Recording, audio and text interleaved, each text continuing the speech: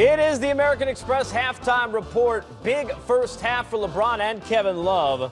Lead closer than it was, but still five for the Cavs at the break. Over the Wizards, Ty Lue is back, and so are we. It's the Amex halftime report. Stern, Shaq, Zeke, Candace, and a lot of LeBron, who still uh, is looking spry 15 years in. Kevin Love, for anybody who underrated his importance, I think we're now seeing it when he's back. It shouldn't have taken that much. How about 16 points, 5 and 9 from the floor, 4 of 5 from deep. But Candace, you know, we look at LeBron and we talk about all the great things that he does. He should have more points, should he not? Take us through what you saw in terms of some of the frustrations LeBron dealt with, with maybe not getting to the foul line as much as he deserved. Well, I feel like it's a constant. Um, how do you ref LeBron? I mean, he's 6'9, 250, going to the basket, doesn't make a play on the ball, gets hit in the ribs. A normal player would be out probably two or three quarters with that, maybe for the game. Post move, gets to the basket, obviously makes the basket, but gets fouled across his arm. He shot two free throws this half I mean, look, LeBron is six foot nine, 250 pounds. Uh, in my era watching basketball, that's Karl Malone dribbling the ball up the court.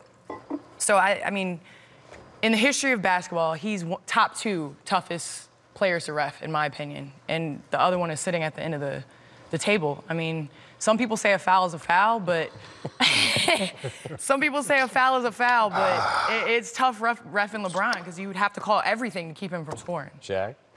I agree with her, uh, but you know, a high official in the NBA once told me, he said, "Yeah, you get fouled every time, but we're not gonna call it every time. It'll be a four or five hour game." So, uh, how did you deal with that? How did you how did you personally take that when they say, "Yeah, you get fouled, but we're not calling it every time"? Well, I took it as a I took it as a sign of respect, and then my thing is, okay, you're not gonna call it, I'm gonna make you call it. So sometimes I would get it, sometimes I wouldn't, but I didn't want to get in the mentality, I'm not getting the calls, I'm not getting the calls. As you know, Isaiah, you just gotta play through everything. You gotta play through everything, you gotta persevere, take it all the way to the end. And then as a player, I know who was playing dirty and I know who was just really, you know, trying to guard me. So. How did you make them call it? When you say I'm gonna make you call it? Put your hand up. Oh boy, don't tell me. Yeah, that's how I do it. See, like right here. I had told the ref, I said, next time you don't call a foul, I'm gonna knock his head off. but I missed. I missed. Oh. it's good. It's good that you missed that. But I, I, I thought, Shaq, that. uh, no, I told myself, yeah. hey, man. Yeah. That, that's not I the said, hey, man. They, hey, we man, they follow me every time. Next, next, next time anybody foul me, Watch what I do. Now, I, I complimented you on your temperament. I, yeah, I was saying, Candace, I, I yeah. thought Shaq had a great temperament. He would get fouled hard. How about that? And, and you know, he would just take it. And then we show this clip. what happened?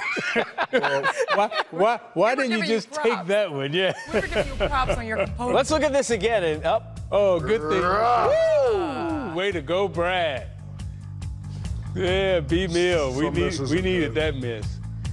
It, you know, despite what LeBron has dealt with, he's still, you know, it's, the consistency is amazing. The, the thing he just did, passing Jordan all the double figures, it's not about the points. It's about how often he's on the floor consistently because of how much he prepares his body, and we're seeing it again tonight. Yeah, and, and, and you said we're seeing it again tonight. I mean, he's he's three assists shy and, you know, five rebounds away from a triple-double already.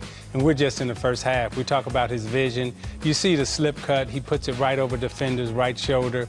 And then his speed in the open court, you know, running away from defenders. We also see his ability to play inside, to back down, post up, reverse, kiss it off the glass. And then we're going to see how smart he is. Okay, he's going to wait, he's going to wait, he's going to bait.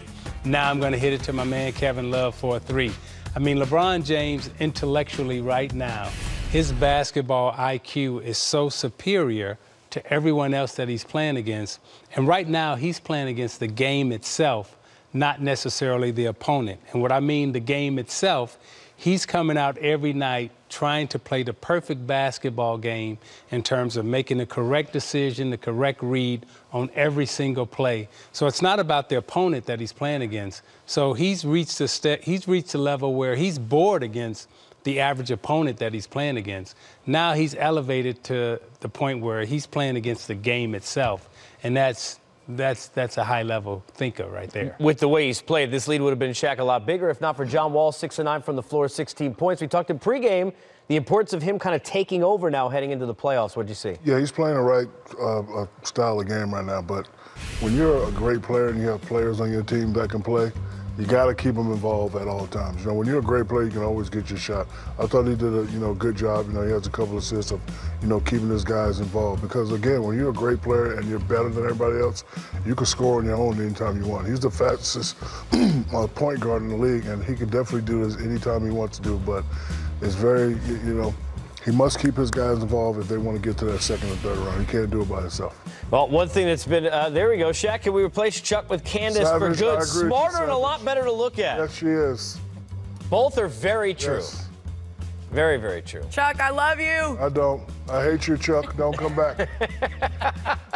I'll pay you not to come back, Chuck. Uh, we got more on the American Express halftime report. Don't go anywhere.